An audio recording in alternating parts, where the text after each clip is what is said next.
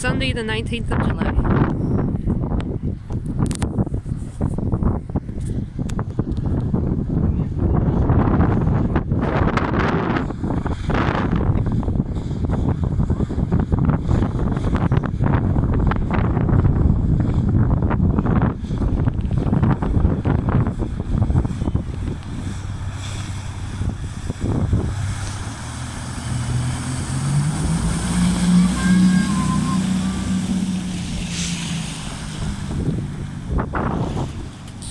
Sure, this is a good week.